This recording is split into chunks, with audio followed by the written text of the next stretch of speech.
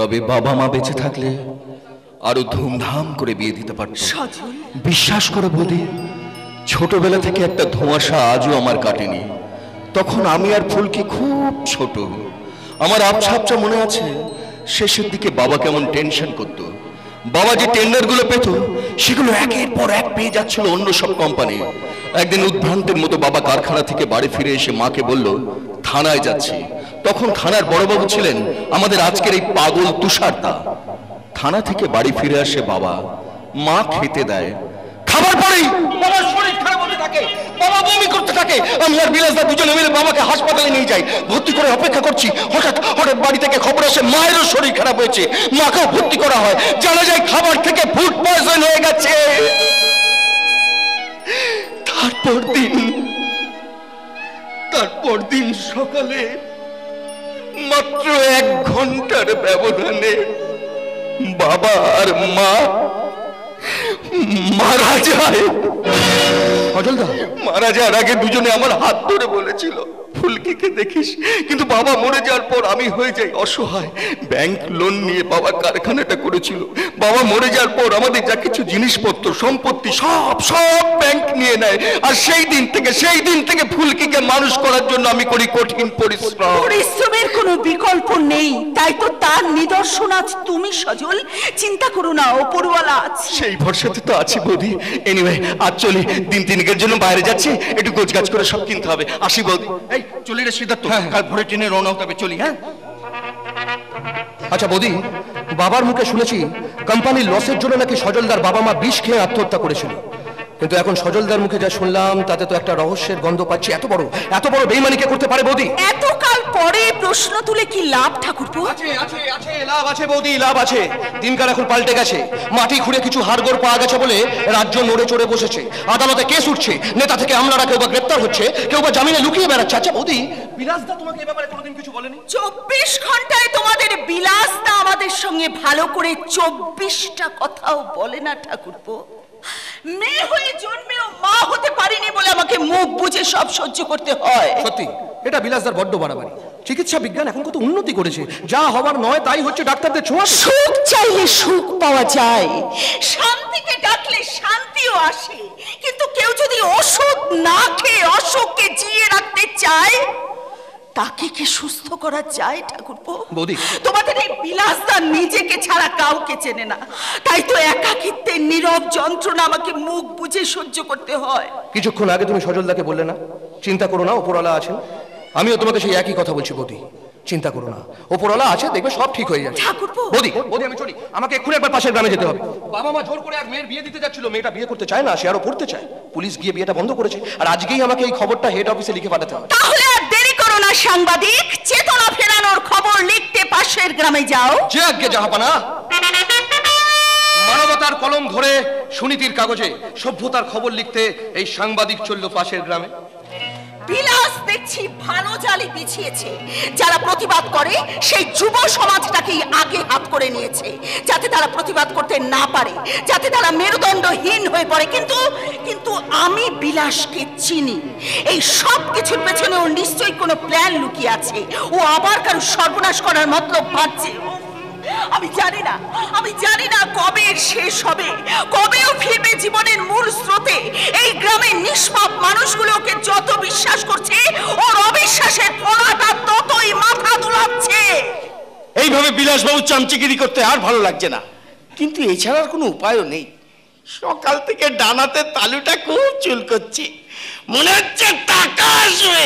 কিন্তু আসবেটা কোথা থেকে সেটাই তো বুঝতে পারছি না। আপনি এসে গেছেন? ও তুমি। আমি ভাবলাম টাকা এলো। আচ্ছা কি ব্যাপার বলো তো সব? সাত সকালে বিলাসবাবু টেলিফোন করে আমাদের এখানে মানে এই হাটখোলাতে কেন ডেকে পাঠালেন? তা বলতে পারব না। হ্যাঁ। তবে আমাকে এখানেই অপেক্ষা করতে বলেছে। নিশ্চয়ই কোনো চক্কর আছে? কিন্তু ভাই এভাবে আর কতকাল আমাদের চক্কর কাটতে হবে বলতে পারো? নারায়ণ বাবু মাঝে মাঝে নিজের উপর খুব ঘেন্না হয় জানো? রাতের অন্ধকারে আমার অস্তিত্ব আবার ঘুমিয়ে থাকা অবচেতন মনটাকে জাগিয়ে বলে এটা তুই কি করছিস নারায়ণ নীতিহীনতার ভাঙা শামুকে পা কেটে তোর যে আদর্শের পচন শুরু হয়ে গেছে এই খাকি পোশাকটা পরার আর তোর কোনো অধিকার নেই। খুলে ফেল খুলে ফেল এই খাকি পোশাক। তোর মাথা অশোকস্তম্ভটা মানায় না তোর শরীরে সত্যমেব জয়তে শব্দটা মানায় না তোর কোমরে দুর্নীতি দমন করার অস্ত্রটা মানায় না। বাবু! ঘুমটা ভেঙে যায় যেন স্বপন? চেতনাহীন কপালে বাষ্পের মতো জমে থাকে দুশ্চিন্তার ঘাম। আজ আপনার কি হয়েছে বলুন তো, স্যার? তখন থেকে সৎমার্কা কথা ওড়াচ্ছেন। নারায়ণ বাবু, একটা সুস্থ জীবনের স্বপ্ন আমিও কলেজ লাইফে দেখতাম। যখন দেখলাম টাকাটাই সব। দুনিয়াটা পাল্টে গেছে। চুরি, ছিনতাই, ডাকাতি করে ব্যাংকে যদি কোটি কোটি টাকা থাকে, তাহলে সমাজ আপনাকে বলবে বাবা আর যে মানুষটা সারা জীবন প্রাইমারি স্কুলে মাস্টারি করে গেল মাসের শেষে পনেরো টাকা পেনশন শুনে এই স্ত্রী সমাজটা বলবে দূর বাবা। যা বলেছ ভাই এরই কারণে তো আমি আমার ন্যায় নীতি কর্তব্যগুলো না সব কোল্ড স্টোরেজে কলিযুগে ওগুলোকে আর বার করতে যাবেন না? তাহলে বিপদে পড়বেন। আমাকে দেখে চমকে উঠবেন না আমিও আপনাদের মতন স্যারের কথা অনুযায়ী কাজ করছি। সে নয় বুঝলাম কিন্তু প্রকাশ্য দিবালোকে বিলাসবাবু আমাদের টেলিফোন করে এখানে ডাকলেন। উনি যে এখানে কি করবেন সেটাই তো বুঝতে পারছি। আমার কাজটা খুব সিম্পল। ফোন করে পুলকে এখানে ডেকে আনা। এটাও বুঝলাম কিন্তু এখানে হবেটা কি? খেলা হবে খেলা। ভালো হবে। হ্যাঁ খেলা। সতের সাথে অসতের খেলা। আসলে কি জানেন নারায়ণবাবু এই এতগুলো বছরে ভগবানপুর গ্রামে আমি আমি নানান অন্যায় কাজ করে গেছি। মানুষকে মানুষ বলে ভাবিনি। মানবিকতাকে পাত্তা দিইনি আমার লোভ লালসার আগুনে গোটা গ্রামকে জ্বালিয়ে পুড়িয়ে ছারখার করে দিয়েছি। এসব আপনি কি বলছেন বিলাসবাবু? ঠিকই বলছি নারায়ণবাবু ঠিকই বলছি তাই তো তাই তো আজ আমার বড্ড অনুশোচনা হচ্ছে। নাটক বন্ধ করো বিলাসদা। রান্নাঘরে আর যাব না বিড়াল বলে দুধ খাব না। নাটক নয় ফুলকি নাটক নয় সত্যি বলছি। সারা জীবন ধরে দুধ খেতে খেতে এই বিড়ালের পেটেও যে চড়া পড়ে গেছে আর তাই তো তাই? সমস্ত পাপের প্রায়শ্চিত্ত করব বলে সবাইকে এই হাট খোলায় ডেকে পাঠিয়েছি আমি। শোনো তোমরা তোমরা কেউ কোথাও যাবে না কেউ ভয় পাবে না কেউ মুখ লুকিয়ে নেবে না। আজ আজ তোমাদের এই অত্যাচারী বিলাস বর্মন নিজের সমস্ত পাপের প্রায়শ্চিত্ত করবে। তোমাকে কিন্তু আমি এখনও অব্দি বিশ্বাস করতে পারছি না বিলাস বিলাসদা। জানি জানি আর এও জানতাম। আমি তোমাকে এখানে ফোন করে ডাকলে তুমি কখনোই আসতে না তাই তো তাই তো অপরাজিতাকে দিয়ে তোমায় ফোন করিয়েছিলাম। ইয়েস স্যার ফুলকে বলেছিলাম না। তুমি এখানে এসো। তোমার কোনো অসম্মান হবে না। কি? এখন খুশি তো? বিলাসদা আমার দাদার মতন। আমিও চাই আর পাঁচজন মানুষের মতন। বিলাসদাও তার সুস্থ জীবনে ফিরে আসুক। দাদা যদি নিজের ভুল বুঝতে পেরে অন্যায় স্বীকার করে নেয় তাহলে বোন তো খুশি হবেই হ্যাঁ, বিলাসদা তুমি যদি সত্যি সত্যি সারেন্ডার করো আমি কথা দিচ্ছি। আমি কথা দিচ্ছি প্রয়োজনে আমি নিজে এসপি সাহেবের কাছে দৌড়াদৌড়ি করে তোমার শাস্তি কম করার চেষ্টা করব। ওসব কিচ্ছু করতে হবে না সব কিচ্ছু করতে হবে না। যদি পারিস তো রাখি পূর্ণিমার ভাইফোঁটা দিন তোরই দাদাকে জেলে দেখতে আসিস। আর এসে একটা করে ফুটা দিয়ে যাস বিলাসদা? স্বপন স্বপন তোকেও আমার সঙ্গে সারেন্ডার করতে হবে। আমি স্যান্ডা করব কেন বিলাসদা? আমি তো যা কিছু করেছি সব আপনার কথাই করেছি। হ্যাঁ, জানি জানি আজও আমার কথাই শুনবি। নারায়ণবাবু হ্যান্ডকাফ পড়ান এই হ্যান্ডকাপ আনিনি। আনিনি। টানবেন কেন? টানবেন কেন? আজকালকার দিনে আপনাদের মতন অসাধু পুলিশ অফিসাররা আসামিদের বাড়িতে হ্যান্ডকাফ নিয়ে যায় না। এই খালি পকেট আর ফাঁকা মানি ব্যাগ নিয়ে যায়। ঠিক বলেছিস ফুলকি ঠিক বলেছিস। আমার তো মাথাতেই ছিল না নারায়ণবাবু আমাকে অ্যারেস্ট করতেই পারেন না কারণ তিনি নিজেও আমার মতন সমান দোষী। হ্যাঁ স্যারের মতন আপনাকেও স্যারেন্ডার করতে হবে। এই কেন করেছে? আমাকে সারেন্ডার করতে হবে? হ্যাঁ করবেন। কারণ আপনি আমাদের চেয়ে বেশি দোষী। সারা জীবন আমাদের কাছে ঘুষ খেয়ে আপনি অন্যায়কে সাপোর্ট করে গেছেন। তাই আপনার উচিত সবার আগে স্যান্ডার করা। স্যার স্যার পুলিশ অফিসার হয়ে সবার আগে সারেন্ডার করতে হবে। প্রেস্টিজের ব্যাপার হবে না স্যার? ঠিক আছে ঠিক আছে নারায়ণবাবু দোষ যখন আমরা তিনজনেই করেছি তখন আমরা আমরা তিনজনেই সারেন্ডার করব। কিন্তু কিন্তু কে প্রথমে সারেন্ডার করবে সেটা ঠিক করবে ফুলকি। আমি? হ্যাঁ ফুলকি তুই তুই তুই অপরাজিতা তোর চোখে কালো কাপড় বেঁধে দেবে। ভয় পাস না? তোর সেই ছোটবেলার কথা মনে আছে ফুলকি হ্যাঁ? তুই কানামাছি ভোবো খেলতে ভালোবাসতিস বলে আমরা সবাই মিলে কানামাছি ভোবো খেলতাম। হ্যাঁ?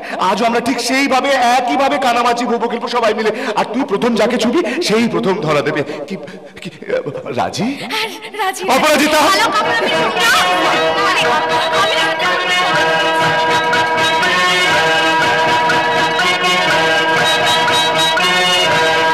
শুরু করি ফুলকি। কানা মাছি ভো যাকে পাবি তাকে ছো কানা মাছি ভো ভো যাকে পাবি তাকে ছো কানা মাছি ভো ভো যাকে পাবি ধরেছি ধরেছি ধরেছি। এই প্রথমে আমাকে ধরলি? প্রথমেই যখন তোমাকে ধরে ফেলেছি বিলাসদা তখন তুমি প্রথমে ধরা দাও। ধরা তো আমি কবেই দিয়ে দিয়েছি। এবার তুমি আমাকে ধরতে দাও। ভালো খুব ভালো সালোয়ার কামিজ এবার তুমি বলো তুমি কি করবে? এটা তুমি এটা তুমি নিজের হাতেই খুলবে। না আমি জোর করে খুলে নেব। স্বপন ধর। নারায়ণ বাবু বাইরে গিয়ে চৈকি দিন দেখবেন কেউ যেন ভেতরে না আসতে পারে। বাইরে বাইরে বাইরে। ছটপট করে না ছটপট করে না ফুলকি ভাই লাগবে আমারও সময় লাগবে। এসব কাজ তো শান্তিতে করতে শুধু এই, তোমরা দাঁড়িয়ে দাঁড়িয়ে কি দেখছ? এসো এসো আমাকে বাঁচাও বাঁচাও। তোমাদের গ্রামের মেয়ের সম্মানের উপর এরা হাত দিচ্ছে আর তোমরা তোমরা মাথা নিচু করে দাঁড়িয়ে দাঁড়িয়ে দেখছ। তোমরা সবাই কি কাপুরুষ? কে? কে মাথা নিচু করে দাঁড়িয়ে আছে? ওই যে রবিকুল মিয়া ভাগ চাষি। আরে রফিকুল মাথা তুলে! ফুটবলের মতো গোল দিচ্ছি রে, গোল! কিন্তু দেখার জিনিস দেখ দেখ। আর যে দেখবে না, তার চোখ আমি উপড়ে নেব। স্বপনা দেরি করিস না, শুইয়ে দে। খেলা হবে, খেলা।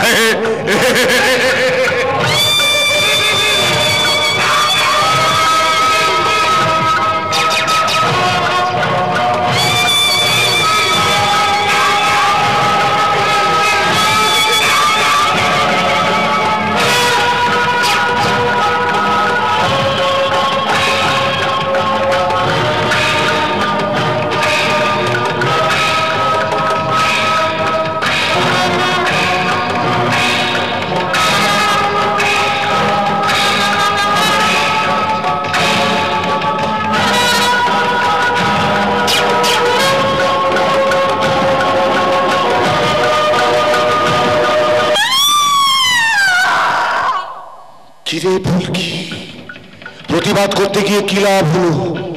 তুই ঘরের ভেতর চর মেরে আমায় অসম্মান করেছিলিস আর আমি হাত খোলা সবার সামনে তোকে কাল থেকে কাল থেকে গ্রামের বাচ্চা বাচ্চা ছেলে মেয়েগুলো তোর শরীরের পাবলিসিটি করে তোর পেছনে সিটি দেবে সিটি আর তুই তুই লজ্জায় ঘৃণায় গ্রাম ছেড়েই চলে যাবি।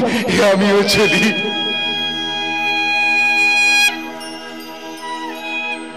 শুধু রাখি পূর্ণিমার ভাই ফোটার দিন তোর দাদাকে দেখতে আসতে ভুলিস না রে বোন। এই আমার ছোট বড় আদরে ছোট এই আমার ছোট বড় আদরে ছোট এ আমার ছোট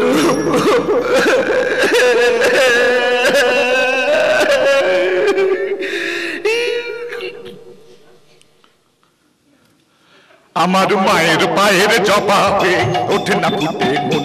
আমার মায়ের পায়ের জবা হয়ে ওঠে না ফুটে মন। আমার মায়ের পায়ের জবা হয়ে ওঠে না ফুটে মন। আমার মায়ের পায়ের জবা হয়ে ওঠে না ফুটে মন। আমার মায়ের পায়ের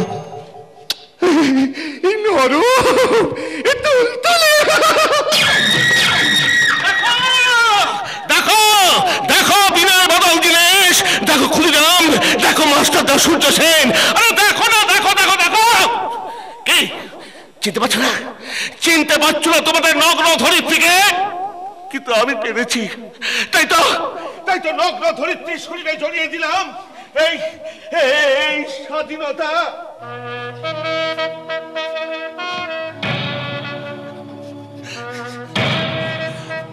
কাপুরুষ কাপুরুষ, সব সারা কাপুরুষ।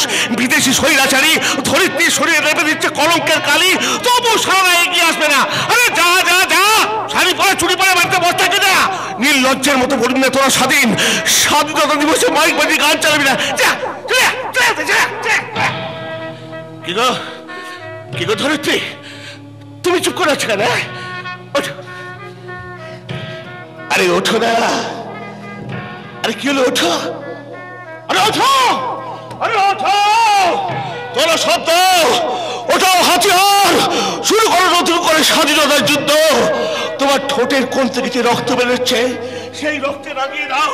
এই সভ্যতার মাটি তোমার চোখের কোন থেকে কালিমা দিয়ে লেপে দাও জনগণের মুখে। এ লজ্জা তোমার নয়, এ লজ্জা এই সমাজে, এ লজ্জা সেই সব মহাপুরুষদের যারা চেয়েছিল একটা পরিষ্কার ভারত। হে বিশ্বকবি রবীন্দ্রনাথ ঠাকুর, তুমি সেদিনকার ভারত নিয়ে লিখেছিলে, মার অভিষেকে এসো এসো তরা। মঙ্গল ঘট হয় নিচে ভরা, সবার পরশে পবিত্র করা তীর্থ নীরে। এই ভারতের মহামানবের সাগর তীরে। আর আজ এই তুষার পাগল ধর্ষিতা মায়ের চোখের জল দিয়ে তোমার কবিতা চুরি করে বলছে, সারা সমাজটা বিষে বিষে ভরা, মানবিকতায় ভরে গেছে খরা, শাসনে শোষণে ব্যথাতে ভরা।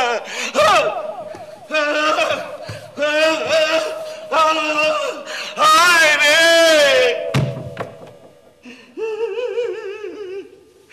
এই তীর্থনি রে এই ভারতে কলঙ্কময় সাগর তীরে, এই ভারতে কলঙ্কময় সাগর তীরে, এই ভারতে কলঙ্কময় সাগর তীরে।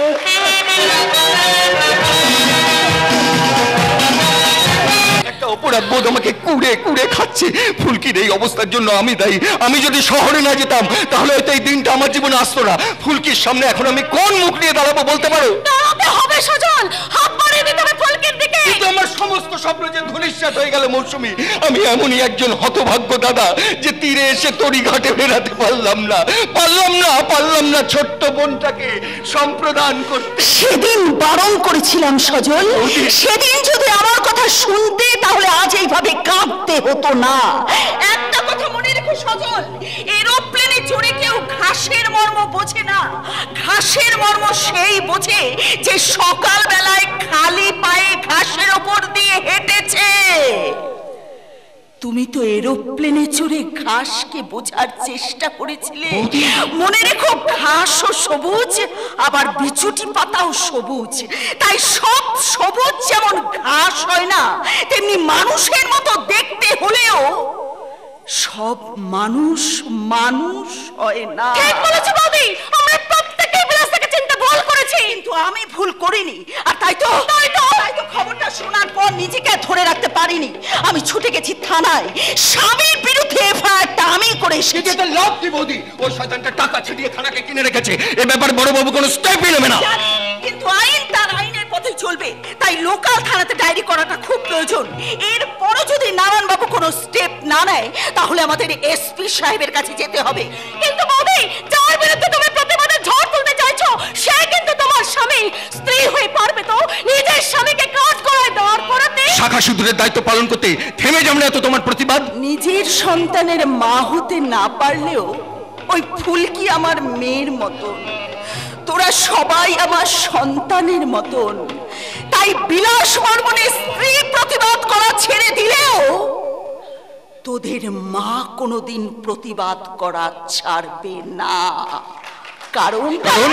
কারণ স্ত্রী বাড়িয়ে দেয় মায়া আর মা ছড়িয়ে দেয় ছায়া।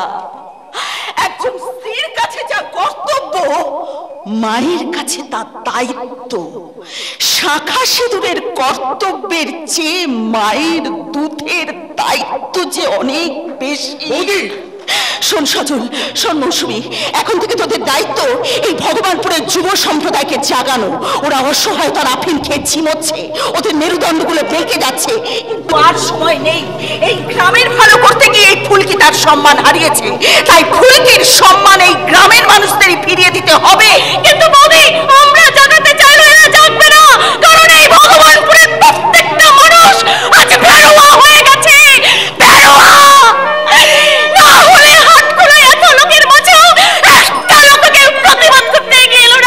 কেউ না ভালো মন্দের পার্থক্যটা ওরা বুঝতে পারছে না বলেই এখনও ভয়ে মুখ বুজে আছে। যেদিন তা পারবে সেদিনই বেজে উঠবে যুদ্ধের দামামা বেশ কাল সকাল থেকে আমি গায়ের প্রত্যেকটা ঘরে যাব। হাত জোর করে বলব এবার জাগো জাগার সময় এসেছে। না হলে আমার মতো তোমাদেরও সকলকে কাঁদতে হবে কাঁদতে। শান্ত হও সজল শান্ত হও মোছো চোখের জল। শোনো কাল থেকেই ওই বিলাস বর্মনের অট্টালিকা ধ্বংস করার জাল বোনা শুরু করতে হবে। আর এই যুদ্ধে তাই সবার আগে ফুলকিকে জাগাতে হবে। ওর বুকের মধ্যে জমা আগুনটাকে উস্কে দিতে হবে আর ওকে যুদ্ধের পোশাক পরিয়ে বিজয় রথে তুলে দিয়ে কপালে পরিয়ে দিতে হবে বিজয় তিলক। পারব না পারব না, আমি পারব না। ভেবেছিলাম এখানকার মানুষের মনে আগুন জ্বালাতে পারব ফুল। ভুল ভেবেছিলাম আমি। আজ বুঝতে পারলাম খার সাবানের পরিবর্তে দামি সাবান কিনে গায়ে মাখালে এই কালো রং ফর্সা হয় না।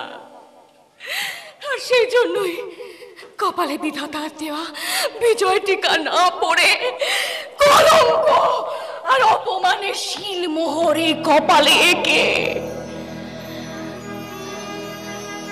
ঝরে উড়ে আসা ছড়া পাতা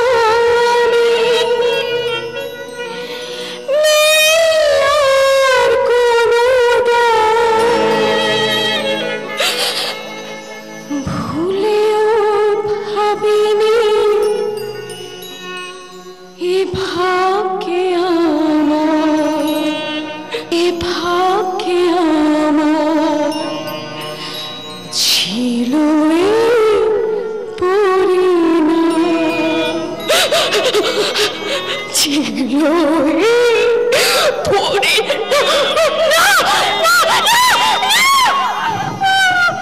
ফুলকি একই মা? তুই কাঁদছিস? তোর চোখে জল। কাঁদিস না রে মা কাঁদিস ওরে আকাশ থেকে বৃষ্টি, কান্না হয়ে ঝরে পড়ে পৃথিবীর বুকে। আর ধরিত্রী মা? ধরিত্রী মা, সেই কান্নাকে বুকে ধরে ফসল ফলায় তার সন্তানদের জন্য। ওরে তুই যে আমার সে ধরিত্রী মা, তোর যে এখন অনেক দায়িত্ব রে মা। কৌরবদের সবাই লাঞ্ছিত হবার পর দ্রৌপদী কিন্তু চোখের জল ফেলেনি রে বরং প্রতিজ্ঞা করেছিল যতদিন না কৌরবদের শাস্তি দিচ্ছি ততদিন চুল বাঁধবো না। ওরে তোকে যে প্রতিজ্ঞা করতে হবে রে পারব না পারব না কাকা বাবু আমি পারব না। আমার জীবন খাতার হিসেব নিকেশগুলো কেমন যেন গরমিল হয়ে গেছে কাকা বাবু। আজ মনে হচ্ছে আজ মনে হচ্ছে আমি কাদের জন্য লড়াই করতে ওই মাঠে নেমেছিলাম। ওই বিলাস বর্মন আমাকে যত না আঘাত দিয়েছে, তার চেয়ে অনেক অনেক বেশি আঘাত দিয়েছে ওই গ্রামের মানুষগুলো। যারা দাঁড়িয়ে দাঁড়িয়ে দেখল একটা সভ্যতার ধ্বংস। ওদের কোনো দোষ নেই মা, ওদের কোনো দোষ নেই। ওরে প্রাণের ভয়ে ওরা আজ বোবা হয়ে গেছে অন্য হয়ে গেছে ওদের সত্তা। নেতাইয়ের ঘটনাটা দেখলি না? ওই বাড়িটার মধ্যে যারা থাকতো, তাদের অত্যাচার সারা গ্রামবাসী বুক বুঝে সহ্য করতো। কিন্তু একদিন একদিন সকালে পাল্টে গেল সেই নেতাইয়ের চেহারা। প্রতিবাদে চলছে উঠল নোংরা রাজনীতির লড়াই। এরা ভয় পায় বলে ওই শয়তানগুলো এদের ভয় দেখানোর সুযোগ পায়। এ কথা ওরা জানলেও মুখে কিচ্ছু বলতে পারছে না তার কারণ? কারণ? কারণ ওই বিলাস বর্মনের কাছে গ্রামের সিংহবাগ চাষির জমি বন্ধক রাখা আছে। তাই জমি হারাবার ভয় ওরা কিচ্ছু বলতে পারছে না কিচ্ছু না। কিন্তু এবার বলবে। একবার তুই হুঙ্কার শর্মা তারপর দেখ প্রত্যেকটা ঘর থেকে বেরিয়ে আসবে বারুদ আসতো। না বাবা না। না বাবা। যা হবার তা হয়ে গেছে বাবা। যা হবার তা হয়ে গেছে আমি। আমি চাই না ফুলকির আবার নতুন করে কোনো ক্ষতি নেই এসব কি বলছিস তুই? ঠিকই বলছি বাবা আমি ঠিকই বলছি। আমি আমি প্রথম দিন ওকে বারণ করেছিলাম এই ঝামেলায় না যেতে কিন্তু আমার কোনো কথা শোনেনি কোনো কথা না। অন্যায়কে মেনে নেওয়া আমার পক্ষে সম্ভব নয় সিদ্ধার্থ? ন্যায় লড়াই করতে গিয়ে তুমি কি আমার কথা একটুও ভাববে না? হুম? তাই আমি চাই। কি চাও? কি চাও? তুমি কি চাও? কি চাও? আমি চাই এই ঘটনাকে একটা দুর্ঘটনা মনে করে ভুলে যেতে বাবা। বাবা আমি ফুলকিকে নিয়ে আজই আজই এখান থেকে অনেক দূরে অনেক দূরে কোথাও চলে যাব। ফুলকি তুমি বিশ্বাস করো আমি পারব। আমি পারব ভাড়া বাড়িতে থেকেও সুখের বাল্বটা জ্বালাতে। কিন্তু আমার পক্ষে সেটা আর সম্ভব নয় সিদ্ধার্থ। ফুলকি! হ্যাঁ কাকা বাবু আপনারা আমাকে ভুল বুঝবেন না। আমি আপনাদের খুব খুব ভালোবাসি। আর তাই তাই আমি চাই না কেউ সিদ্ধার্থর দিকে আঙুল তুলে বলুক ও একটা ধর্ষিতামের স্বামী। ফুলকি! আমি সিদ্ধান্ত নিয়েছি। এই বিয়ে আমি আমি করব না। পাগলের মতো কি বলছিস তুই? ওরে তোকে বৌমা করে পাকাপাকি ভাবে বাড়িতে আনব বলে আমি যে আয়োজন সব শেষ করে ফেলেছি রে মা। আপনার আয়োজনের সাথে সাথে আমিও যে শেষ হয়ে গেছি কাকা বাবু আমি শেষ কে হয়ে গেছি। বলল তুমি শেষ হয়ে গেছো? কিচ্ছু হয়নি ফুলকি কিচ্ছু হয়নি দেখবে সব ঠিক হয়ে যাবে। তুমি শুধু তোমার সিদ্ধান্তটা বদলে ফেলো। সান্ত্বনা দিও না সিদ্ধার্থ। আমার জীবনে ছন্দে একটা হাই হাইফেন পড়ে গেছে। আমার এই চরিত্রের ওপর পড়ে গেছে একটা মস্ত বড় দাড়ি আজ তোমরা ভালোবেসে আমার ওপর মাত্রা দিতে চাইছো ঠিকই। কিন্তু আজ এই সমাজের কাছে আমি শুধুমাত্রই একটা জিজ্ঞাসার চিহ্ন যেখানে কমা সেমিকোলনের কোনো মূল্য নেই। স্বপ্নে দেখা আছে ঝাড়বাতি। আপনি নিজের হাতে জ্বালিয়েছিলেন সেই ঝাড়বাতি। নিজের হাতে নিভিয়ে দিতে জানি জানি আপনার খুব কষ্ট হবে কাকা বাবু আমি জানি আমি জানি বিয়ে না হলে ঝড়ে মুখে পড়ে থাকা গাছের ডালের মতন তুমি ভেঙে পড়বে I know If you are not married, you will fall like a house of cards just break like a twig. I've known it always, but still I request you to leave me alone. Can't be selfish and change hand and follow life as it goes on. No, never. স্বার্থপরের মতন শুধুমাত্র নিজের কথা ভেবে আমি সিঁথি বদল করতে পারব না সিদ্ধার্থ। বরং দিন বদলের জন্য বদলার আগুন জ্বালাবো। আমিও তাই চাই আমিও তাই চাই রে দিদি ভাই যে শয়তানটা তোর এত বড় ক্ষতি করেছে। আমি চাই তুই নিজে হাতে তাকে শাস্তি দে। ঠাকুমা! এসেই তো পড়েছেন। তাই প্রশ্নটা করতে বাধ্য হচ্ছে। কেন এসছেন এখানে? মজা দেখতে। উত্তেজিত হবেন না উত্তেজিত হবেন না সঞ্জীব বাবু উত্তেজিত হবেন না। আসলে তিস্তা দেবী থানায় একটা এফআইআর করেছেন বিলাস বর্মনের নামে। উনি নাকি ফুলকি নামে কোন একটা মেয়েকে রেপ করেছে। এই ব্যাপারে একটু খোঁজ খবর নিতে এসেছি আর কি। আচ্ছা এখানে ফুলকি কে? ফুলকি কে? আপনার কি ভুলে যাওয়ার রোগ আছে? হ্যাঁ হ্যাঁ হ্যাঁ তা একটু আধটু আছে। তাহলে ইমিডিয়েট ডাক্তার দেখান। না হলে কোনোদিন দেখবেন। ভুল করে হয়তো বউয়ের বদলে মেয়ের সাথেই রাত কাটিয়ে ফেলেছেন। হ্যাঁ হ্যাঁ। যেটা জিজ্ঞাসা করছি তার উত্তর দিন। কারণ ঘটনাটাকে নিয়ে আমাকে ইনভেস্টিগেশন করতে হবে। আপনি ফুলকি হ্যাঁ। এবার বলেন তো। বিলাস বাবু আপনাকে ধর্ষণ করার সময় আপনার শরীরে কোন কোন জায়গায় হাত দিয়েছে? একজন ভদ্র মহিলার সাথে কীভাবে কথা বলতে হয় জানেন না দেখছি? উত্তেজিত হচ্ছেন কেন? ডিটেলসে জিজ্ঞাসা না করলে আমি কেসটা সাজাবো কি করে? আচ্ছা আচ্ছা আপনি তো প্রথম ওনাকে হাটখোলা থেকে বাড়িতে নিয়ে এসেছেন, তাই তো? তা যখন নিয়ে এসেছিলেন, তখন কি উনি কিছু পড়েছিলেন? নাকি পুলিশের কাছে একদম বাধা দেবেন না, একদম না। আচ্ছা আপনি বলুন আপনি বলুন। আপনি যখন প্রথম ওনাকে ওই অবস্থায় দেখলেন, তখন আপনার কি মনে হয়েছিল? বিলাসবাবু জোর করেছিলেন, নাকি উনি স্বেচ্ছায়? আপনার কথার উত্তর দিতে আমার ঘৃণা করছে। তা বললে আমি তদন্ত করব, কি করে বল ঠাকুমা! ঠাকুমা আপনি বলুন তো আপনি যখন ওনাকে প্রথম দেখলেন তখন ওনার শরীরে কোন কোন জায়গায় রক্ত লেগেছিল? আর একটা বাজে কথা বললে রান্নাঘর থেকে আসবটি টাইনে তার গলা কাটবো। তখন বুঝতে পারবি রে ও লাউটোর বেটা। বুড়ি পুরনো চাল হলেও ভাতে বাড়ে। আচ্ছা আমিও দেখব। চলি। দাঁড়ান। এতক্ষণ আপনি আমাকে অনেকগুলো প্রশ্ন করলেন। এবার আমার কয়েকটা প্রশ্নের উত্তর দিয়ে আপনি চান আমি শুনেছি আপনার একটা অল্প বয়সী মেয়ে আছে। তা কেউ যদি আপনার মেয়েকে প্রকাশ্য দিবালোকে অসম্মান করত ধর্ষণ করত তাহলে আপনিও কি আপনার মেয়েকে তদন্তের নামে এই প্রশ্নগুলি করতে পারতেন তো? যেগুলো আপনি আমাকে করলেন ধর্ষণ করার সময়। আসামি আপনার মেয়ের শরীরে কোন কোন জায়গায় হাত দিয়েছিল? ধর্ষণের পর আপনার মেয়ে কি পড়েছিল? আসামির কাছে আপনার মেয়ে স্বেচ্ছায় গিয়েছিল কিনা? ধর্ষণের পর আপনার মেয়ের শরীরে কোন কোন জায়গা দিয়ে রক্ত বেরোচ্ছিল? এগুলো লিখবেন তো। আপনার ওই হাতে ধরা ডায়েরিতে officer please stop it stop it নিজের মেয়ের নামে আজে বাজে কথা শুনে কষ্ট পাচ্ছেন? না ভেবেই ভয় পাচ্ছেন বড় বাবু। আর কতদিন? আর কতদিন ওই বিলাস বর্মনে চামচাবাজি করবেন? একবারও কি ভেবে দেখেছেন? যে মানুষটা নিজের স্ত্রীর গায়ে হাত তুলতে পারে সে যখন তখন আপনাদের এই এই এই পেটেও লাথি মারতে পারে। ও তো ঠিক কথাই বলেছে অফিসার। সঞ্জীববাবু কোনো তদন্তের প্রয়োজন নেই স্যার। কোনো তদন্তের প্রয়োজন নেই। আমি চাই না আমি চাই না ফুলকিকে নিয়ে আবার সবাই আলোচনা করুক। তদন্তের নামে প্রহসন আপনি বন্ধ করুন প্লিজ। সিদ্ধার্থ নারায়ণ বাবু ঘুষের টাকা রোজগারের জন্য চরিত্র এই সরকারি পোশাক এগুলো তো অনেক আগেই বিক্রি করে দিয়েছেন। সুযোগ পেলে দেখছি নিজের বউ বাচ্চাকেও বিক্রি করে দেবেন। একটা ছবি দেবেন স্যার? একটা ছবি। বাঁধিয়ে রাখব!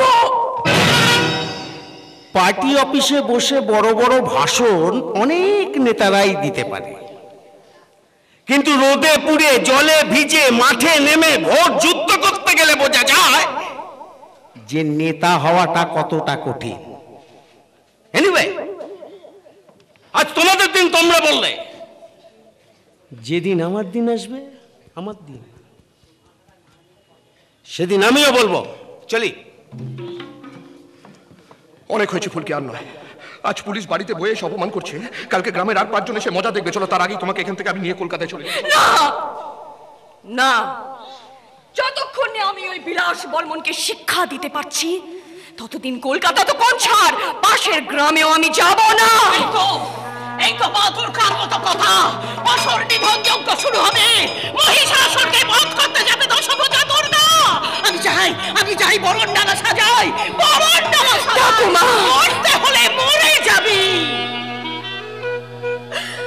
বৌমার মৃতদেহ দেখেছি।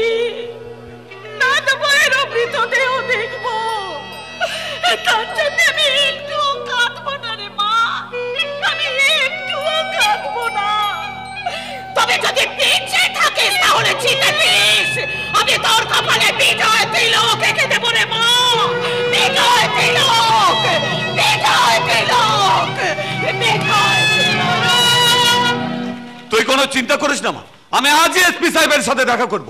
সব ঘটনা ওনাকে খুলে বলব। উনি নিশ্চয়ই একটা ব্যবস্থা করবেন। আপনি খুশি তো কাকা বাবু খুশি রে মা খুব খুশি। দেখছিস না? আমার দু চোখ দিয়ে কেমন খুশির কান্না বেরিয়ে আসছে। ওরে সবার তো সব স্বপ্ন পূরণ হয় না। আমিও জানব এবারের ঝাড়বাতি জ্বালার স্বপ্নটা আমার পূরণ হলো না। তবু তবু তুই তো জিতবি রে মা তুই তো জিতবি। আর আমি আমি তাতেই খুশি রে মা। আমি তাতেই খুশি তাতেই খুশি।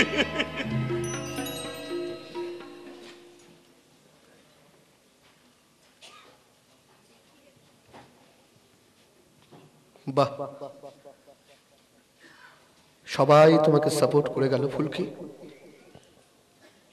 আমার কথা একজনও ভাবলো না। আর ভাববেই বা কেন, আমি আমি কে? ওভাবে কেন বলছো? ওভাবে কেন বলছো? আর কেউ না বুঝলেও আমি তো বুঝি। তাহলে ভবিষ্যৎ গড়ার যে স্বপ্নটা আমি দেখেছি তাকে দুঃস্বপ্ন করতে চাইছো কেন? কারণ বাসি ফুলে দেবতার পুজো হয় না, সিদ্ধার্থ। এ তোমার ভুল ধারণা ফুলকি ফুলকি ফুলকি দেখো আমি শুধু তোমার বর্তমানকে চাই, অতীতকে নয়। হ্যাঁ আমি স্বীকার করছি। আমি স্বীকার করছি, স্বার্থপরের মতো শুধু আমি আমার দিকটাই দেখছি, কারণ আমি যে তোমাকে আমার জীবনের থেকেও বেশি ভালোবাসি। আর ভালোবাসার কাছে ক্ষোভ হিংসা দ্বন্দ্বের কোনো দাম নেই। আর যে লড়াই তুমি করতে যাচ্ছ তাতে আবার যদি তোমার কোনো ক্ষতি হয় আমি যে বাঁচতে পারব না। জানোই যদি তাহলে মানছো না কেন? কেন সব ভুলে এক রাস উচ্ছ্বাস নিয়ে সমুদ্রের ঢেউয়ের মতো আমার বুকে আছড়ে পড়ছো না? পাগলের মতন করো না সিদ্ধার্থ পাগলের মতন করো না। আজ তোমার ভালোবাসা পাওয়ার যোগ্যতা বোধহয় আমার আর নেই। তাই বাধ্য হচ্ছি বলতে তাই বাধ্য হচ্ছি বলতে আমি জানি। জানি জানি তুমি খুব কষ্ট পাবে। আমি জানি আমি জানি তুমি অনেক অনেক কাঁদবে। তবু তবু পারো তো আমায় ভুলে যেও। পারো তো আমায় ভুলে যেও, আমায় ভুলে যেও। স্বপ্ন আমার হারিয়ে গেল। বেদনা বালু ছড়ে স্বপ্ন আমার হারিয়ে গেল, বেদনার বালু চরে কত কথা, কত স্মৃতি শুধুই মনে পড়ে। কত কথা, কত স্মৃতি শুধুই মনে পড়ে স্বপ্ন আমার হারিয়ে গেল, বেদনার বালু ছড়ে। আসার সময় হয়ে গেছে? আজ আর কারোর কথা না আমি নিজে ওকে এই নদী পাড়ে ডেকেছি। দিনের পর দিন ওই বিলাস বর্মনের কথা মতো যে পাপ আমি করেছি ফুলকির সাথে হাতে হাত মিলিয়ে সেই পাপের বোঝা একটু কমাতে চাই। সে তো বুঝতেই পারছি। কিন্তু ওই সাগরে পৌঁছাতে হলে আগে যে খালটাকে পার হতে হবে। আপনাকে তো ঠিক চিনতে পারলাম না। চেনবার কথাও নয়। আমি হলাম নকল হনুমান। আসল হনুমান। আসল হনুমান যেমন রামের জন্য প্রাণ দিতে রাজি ছিল তেমনি আমি এই নকল হনুমান সীতার জন্য প্রাণ দিতে রাজি আছি। বেশ মজার মানুষ তো আপনি। আপনার সীতাটি কে? এই যে ফুলকি দিদিমণি। আগের দিন আপনারই করা ফলে এটা গিয়ে ফুলকি দিদিমণির সর্বনাশটি হলো। তাই আজ আর ফুলকি দিদিমণিকে একা আসতে দিইনি সঙ্গে আমি এসেছি। সেদিনের জন্য সত্যি আমি খুব অনুতপ্ত। একটা মেয়ে হয়েও একজন মেয়েকে বাঁচাতে পারলাম না। আসলে বিলাস বর্মন। ও ঠাম্মার কথা বলবেন না তো। তককে তককে আছি। একবার সুযোগ পাই ও শালা আমি হারামিটা বন্ধ করে দেবো। আমিও তাই চাই। ওই শয়তানটা আমারও। আপনারও? আচ্ছা ওই বিলাস বর্মনের এটা ছাড়া কি কোনো কাজ নাই থাকে থাকে। এখন বলুন তো ফুলকি দিদিমণিকে কেন ডেকেছেন একটা অতীত ইতিহাস জানাব বলে। কি সেই ইতিহাস? ফুলকি বা সজল বাবু। কেউ এর কথা জানে না যে আজ থেকে কুড়ি বছর আগে খাবারে বিষ মিলিয়ে ফুলকি বা আমাকে খুন করেছিল। এই বিলাস বর্মন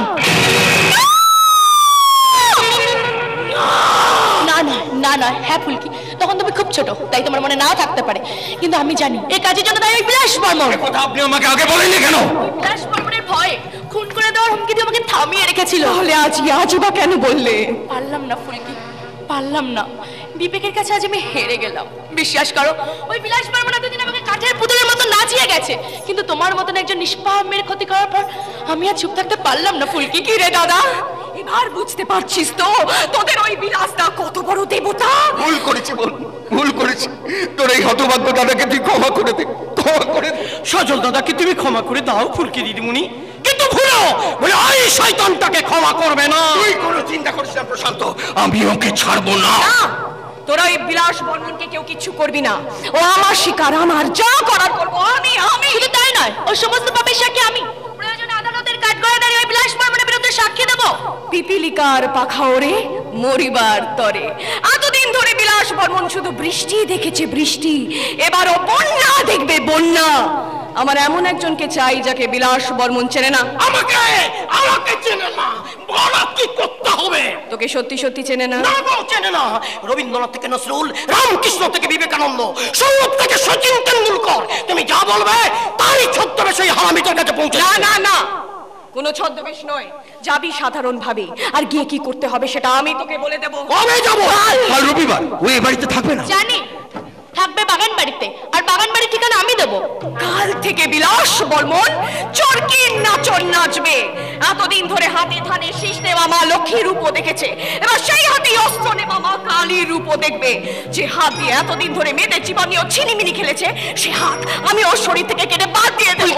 আমার বাবা মার বিশ্বাসকে যেভাবে অবিশ্বাসের ছোবল মেরে বিষ ভরিয়ে দিয়েছে সেভাবেই আমি ছোবল মারবো শান্তিতে। আমি ওকে এমন ভাবে মারবো। যা দেখে শয়তান দ্বিতীয়বার বিলাস বর্মন হয়ে এই পৃথিবীতে জন্মাতে ভয় পাবে। মনুষ্যত্বের হানি কাটে নৈরাজ্যের সম্রাট বিলাসকে আমি বলি, দেব বলি। ও রক্তে বিজয় তিলক পরে আমি যাব ঠাকুমার কাছে। আমি আমার দিব্য চক্ষু দিয়ে দেখতে পাচ্ছি। অসুর নিধন যজ্ঞ ইন্দ্রিয়ানামতিষ্ঠত্রীভূতানঞ্চকিলেষু ইয়া ভূতেষু সততং তস্मै ব্যক্তিতব্যৈ নমো নমঃ সর্বাভূত যদা দেবী সর্গমুক্তি প্রদায়িনী ত্বং স্তুতা স্তুত একাবা ভবন্তু পরমক্তয় সর্বস্ব বুদ্ধিরূপেণ জনস্বরীতি সংস্থিতে সর্গাপ পর্বদে দেবী নারায়ণী নমস্তুতে কলা কাষ্টাদিরূপেণ পরিণাম প্রদায়িনী বিশ্বস্য পরতৌ শক্তি নারায়ণী নমস্তুতে। সর্বমঙ্গল মঙ্গলে শিবে সর্বার্থ সাধিকে শরণ্যে ত্রম্বকে গৌরী নারায়ণী নমস্তুতে। সৃষ্টি স্থিতি বিনাশানং শক্তিভূত সনাতনী গুণাশ্রয় গুণয়ে নারায়ণী নমস্তুতে। শরণাগত দীনাত্ম পরিত্রাণ পরায়ণে সর্বশক্তি হরে দেবী নারায়ণী নমস্তুতে।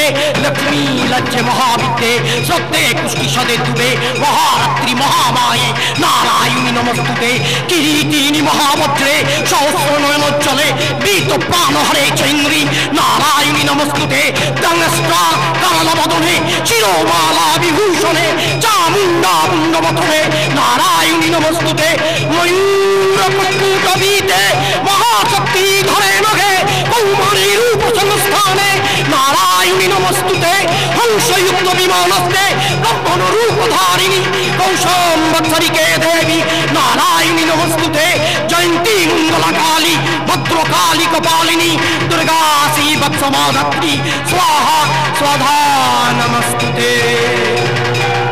या देवी सर्वभूतेषु मातृरूपेण संस्थिता नमस्तस्मै नमस्तस्मै नमस्तस्मै नमो नमः। या देवी सर्वभूतेषु शक्तिरूपेण संस्थिता नमस्तस्मै नमस्तस्मै नमस्तस्मै नमो नमः। या देवी सर्वभूतेषु शान्तिरूपेण संस्थिता তস্मै নমঃ তস্मै নমঃ তস্मै নমো নমঃ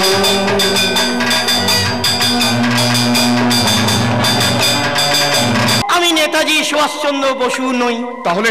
আপনি আচার্য জগদীশচন্দ্র বসুর নাম শুনেছেন? হ্যাঁ হ্যাঁ শুনেছি। আজকে আমি আচার্য জগদীশচন্দ্র বসু নই। তাহলে তুমি কে সেটা বলবে তো? আপনি প্রশান্ত ভট্টাচার্যের নাম শুনেছেন? না শুনিনি সে আবার কে? এটাই আমি। আগে এই অধমের নামই হলো প্রশান্ত ভট্টাচার্য। বুঝলাম। তা এখানে কি চাই? আপনার পেছন। প্রশান্ত? বলতে গেলেই তো মহিলার নামটাই আগে বেরিয়ে আসে। Get out get out get out I আমার আমার সন্ধানে ভালো ভালো মহিলা আছে স্যার। লাগলে বলবেন। হ্যাঁ হ্যাঁ, ভরা ভাতরের ইলিশের মতো ডিম ভর্তি বউ আছে। মানে প্রেগনেন্ট বৌদি। লাগলে বলবেন। দূর হারামি। কোথায় আমি ফুর্তি করব বলে মেয়ে ছেলে খুঁজছে আর এখানে আমাকে ডেলিভারি করার জন্য পেশেন্ট দিচ্ছে? চলবে না চলবে না। আর কি আছে বল? একটা second hand double decker bus আছে। মানে? মানে ডিভোর্সি বৌদি ইয়ামটা। লাগলে বল লাগবে না আমি তো প্রশান্ত। বলছি কচি কিছু নেই কচি? আছে আছে বাবা। আছে। বাংলাদেশের পদ্মার ইলিশ। পেটি পেটি একদম চকচক করছে। দিল দিল একদম ধক করছে। লাগলে বলবেন লাগবে লাগবে দেখতে কেমন? তিন ভাগের মধ্যে এক ভাগ ক্যাটরিনা। এক ভাগ করিনা। আর ভাগ নাগিনা। অসাধারণ। ক্যাটারিনার মতো চোখ। করিনার মতো ফিগা। আর আর নাগিনীর মতো ছবল একেই তো চাই একেই তো চাই প্রশান্ত। আমি আবার জাত সাপুরে খেলতে যদি হয় বিষধর সাপ দিয়ে খেলব। তুমি কোনো চিন্তা করো না। তোমার যত টাকা লাগে আমি তোমাকে দেবো। তুমি শুধু তোমার ওই বাংলাদেশি ইলিশকে নিয়ে কাল রাতে আমার বাগান বাড়িতে চলে এসো, কেমন? কিন্তু স্যার আপনার বাগান বাড়ির ঠিকানাটা? ওই যে নবীপুরের পলাশ ডাঙায় কাল রাত দশটায় মনে থাকে জানো হ্যাঁ ঠিক আছে ঠিক আছে। কোনো চিন্তা করবেন না। কাল আমি আপনার জন্য একদম জ্যান্ত ইলিশ নিয়ে পৌঁছে যাব। বাবা বাবা বাবা এখন শোনো এখন শোনো। তুমি এদিক দিয়ে কেটে পড়ো বুঝলে? কাল দেখা হবে কেমন? Okay sir. তাহলে স্যার এখন থেকে ভাবুন কি খাবেন? ভাপা না পাতুরি? এখন আমি কেটে পড়ি। এই না হলে ভাগ্য। দুর্ভাগ্য। কাকা বাবু যা বলেছেন দুর্ভাগ্যই বটে। আমি আপনার জন্য এত কিছু করছি অথচ আপনি আমাকেই চিনতে পারছেন না। আমাকে এখানে ডেকেছেন কেন? সে কি রে সবু তুই কাকা বাবুকে কিচ্ছু বলিস নি? উনি তো আসতেই চাইছিলেন না আমাকে জোর করিয়ে আসতে হলো। কতগুলো বলব কখন কি কাকা বাবু আপনি শুধু শুধু আমার উপর রাগ করছেন তো? শুনেছেন তো প্রকাশ্য দিবালোকে অগণিত মানুষের সামনে হাট খোলায় আমি ফুলকিকে ধর্ষণ করেছি? ছি বিলাসবাবু ছি। বিশ্বাস করুন কাকাবাবু বিশ্বাস করুন। আমি ফুলকির ইজ্জত নিয়ে ছিনিমিনি খেলেছি ঠিকই কিন্তু সব আপনার আমার জন্য? হ্যাঁ আপনার জন্য। আর কদিন বাদে নির্বাচন আর আপনি ভোটে দাঁড়িয়েছেন। এইবার ভাবুন সিদ্ধার্থর সঙ্গে ফুলকির বিয়েটা যত তাড়াতাড়ি সম্ভব সেরে ফেলুন। তাতে একটা দর্শিতা মেয়েকে আপনার পুত্রবধূ বলে স্বীকার করেছেন বলে পাবলিকের কাছে আপনার ইমেজটা কত ভালো হবে? তারপর আপনার ধর্ষিতা বৌমাকে নিয়ে আপনি জিপে করে ঘুরে বেড়ান। স্টেজে স্টেজে বক্তৃতা দিন দেখবেন আপনার বিপক্ষের নেতারা কেউ আপনার সামনে টিকতে পারছে না। সব ভোট আপনার একটা ফুলের মতো নিষ্পাপ মেয়ের ভবিষ্যৎ অন্ধকার করে দিয়ে তুমি আমার ভবিষ্যতের আলো জ্বালাতে চাইছো রাস্তায় চাইছি চাইছি কারণ আপনি বাঁচলে বাপের নাম। আপনার নাম হবে টাকা হবে গাড়ি বাড়ি চেয়ার ক্ষমতা সবই হবে। তারপর ধরুন আপনার মা মানে ঠাকুমা বয়স হয়ে গেছে মারা গেলে দুর্গা পুজোর মতন ঘটা করে শ্রাদ্ধ করতে পারবেন। বিলাস! বাবু। এক কথায় রোজগার কার আপনার আর খরচ কার আমার। আপনি খরচ করবেন? সে কি রে শুভু বিলাস বর্মন কাউকে কথা দিলে কথার খিলাপ করে না জানিস না? এই পোস্টার ব্যানার ফুল জিপ জিপে তেল স্টেজ মাইক সব আমি করব কাকা বাবু আর হেলিকপ্টার? না না না ওই ভোটের প্রচারে হেলিকপ্টার ব্যবহার করা উচিত হবে তুমি শুধু শুধু সময় নষ্ট করছ বিলাস। আমি যে কিছুই নষ্ট করছি না কাকা বাবু এ তো আমার কর্তব্য। তারপর ধরুন আজকাল ভোটের প্রচারে এই ফিল্ম স্টারদের আসা একটা একটা ফ্যাশন হয়ে গেছে তার প্রয়োজনে আমি বম্বে থেকে হিন্দি ফিল্ম স্টার নিয়ে আসব সব খরচ আমার। আর মিছিল? করব। অবশ্যই করব। এই মিটিং করব মিছিল করব। তবে কি জানিস শুভু আজকাল না এই মিটিং মিছিল ডেড বডি ছাড়া ঠিক জমছে না। তুই একটা কাজ কর এই গ্রামে ঘুরে দেখ বয়স হয়ে গেছে এমন কোনো চাষিকে পাস কিনা। পেলে তাকে ধরে নিয়ে আমি তাকেই মেরে দেবো। কাকাবাবু আপনি বলবেন চাষি আপনার দলের লোক ছিল বিরোধীরা মেরে ফেলেছে। আমি ভোটে দাঁড়াবো না বিলাস। যদি দাঁড়াতে হয় তাহলে তোমার বিরুদ্ধে আমি আদালতের কাঠ করে দাঁড়াবো। দয়া করে আমার কথা শুনুন কাকাবাবু ফুলকি আপনার কথা শুনে ওকে নিয়ে আপনি দূরে কোথাও চলে যান ওখানেই থাকুন। আমার বিরুদ্ধে পণা তুলেছে ফুলকি। ওকে বোঝান। তা না হলে আমি আপনার এই তো আসল রূপটা বেরিয়েছে বাবা চমৎকার। কান খুলে শুনে রাখ হারাম দাদা ওই ফুলকির পাশে দাঁড়িয়ে যতক্ষণ আমি তোর হাতে হাত করে পড়াচ্ছি ততক্ষণ আমার শান্তি নেই। দয়া করে আমার কথা শুনুন। আমি চলে। দাঁড়ান দাঁড়ান দাঁড়ান এত তাড়া কিসের কাকা বাবু আমাকে অন্তত একটা প্রণাম তো সেরে নিতে দিন।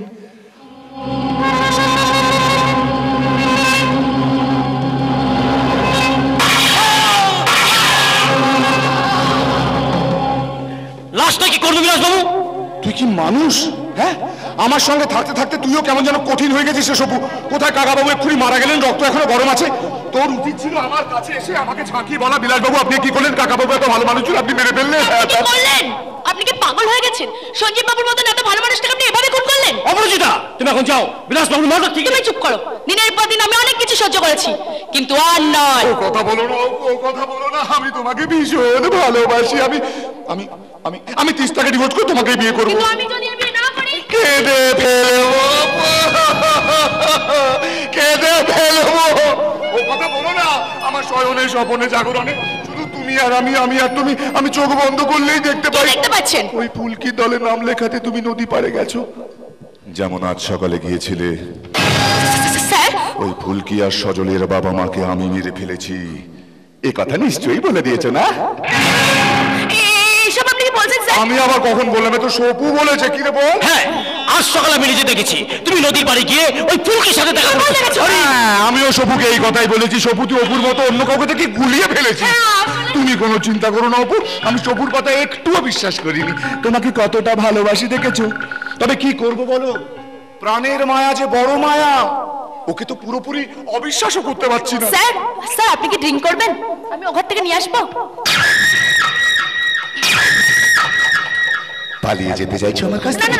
মা- যাও যাও যাও। ওই পাশের ঘরে গিয়ে বসো। আমি সবুর সঙ্গে দুটো কথা বলি এক্ষুনি আসছি। তারপর তুমি আর আমি আমি আর তুমি শুনকু মানো। আমাদের ভালোবাসা চিরদিন রয়ে যাবে।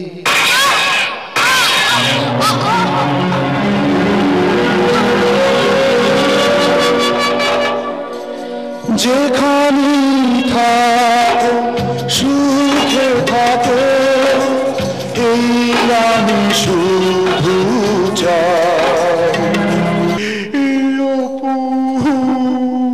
সপু অপু আমাদের ছেড়ে চলে গেল রে। যাকে যাকে সময় নষ্ট না করে নারায়ণবাবুকে গিয়ে খবর দেবো আমি এক্ষুনি ডেকে পাঠিয়েছি। একবার আজকে মা গো মা। তিস্তা! তিস্তা! ও তিস্তা তিস্তা ও তিস্তা তিস্তা আমাকে বাঁচাও তিস্তা আমি তোমার দুটো পায়ে পড়ছি। কেন? কি হয়েছে কি? আমি রাগের মাথায় দুটো খুন করে ফেলেছি। এই অপরাজিতা সঞ্জীব বাবু।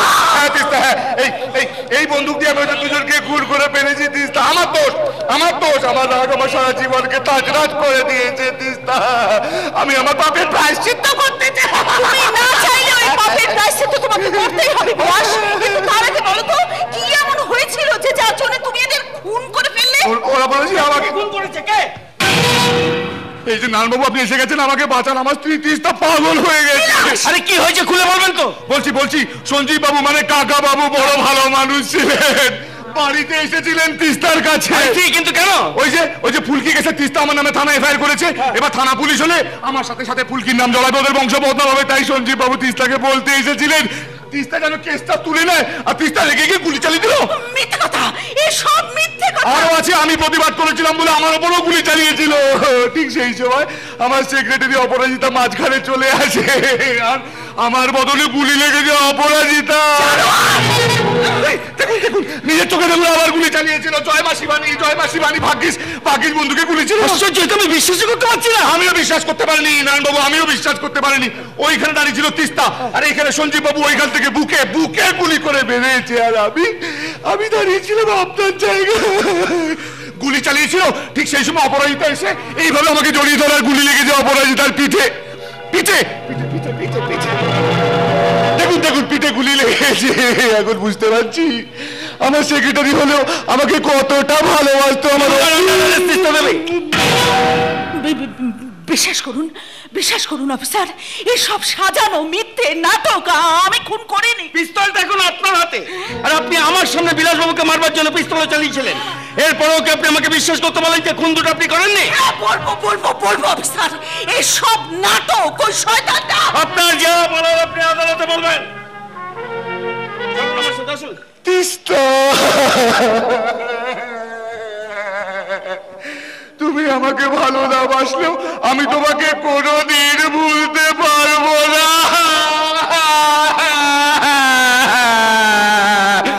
তবে দেখো প্রত্যেক সপ্তাহে আমি জেলে তোমার সঙ্গে দেখা করতে যাব এত বড় ইলিশ মাছ। চলো চলুন এত বড় তো হয় নাই। এই বিলাস বাবু তেল শেষ হয়ে গেলে প্রদীপের আগুনটা একটু বেশি মাথা নাড়িয়ে জ্বলে উঠে নিভে যায়। তোমারও তেল শেষ হয়ে এসেছে। যেটুকু সলতে বেঁচে আছে তা খুব তাড়াতাড়ি পুড়ে ছাই হয়ে যাবে। ছাই হয়ে যাবে। চলুন অফিসার।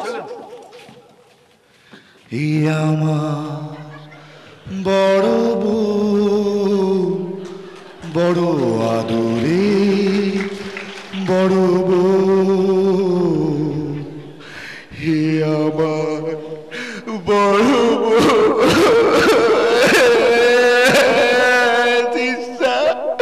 ভালো থেকো ভালো থেকো। এসো এসো এসো। অপেক্ষা করছেন না? Tata. I love you boss তাহলে আপনি জানতেন যে পিস্তলের মধ্যে চারটে গুলি ছিল। দূর খেলানে না জানলে কেউ দেয় নাকি? কেমন খেললাম বল। গুরু একটু পায়ে ধুলো দিন গলায় মা দিলে করে পড়ব। তার আগে অক্টাব্যাটে নকুল আর কালোবাসীর কালীকে বল বডিগুলো সরাতে আর পায়ের ধুলো দিতে আমি সব সময় রাজি রে এই নে। তুমি আমাকে কোন পরীক্ষার সামনে দাঁড় করালে? প্রথমে আমাকে বাঁচিয়ে রেখে আমার বৌমাকে কেড়ে নিলে। তারপর আমার ছেলেকেও কেড়ে নিলে। এত খিদে তোমার। আর এতই যদি খিদে, তাহলে আমাকে খেলে না কেন?